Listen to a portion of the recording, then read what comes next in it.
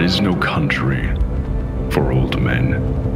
The young, in one another's arms, birds in trees. Those dying generations.